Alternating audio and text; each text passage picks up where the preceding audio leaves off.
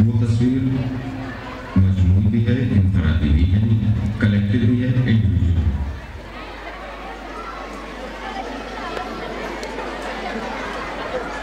है।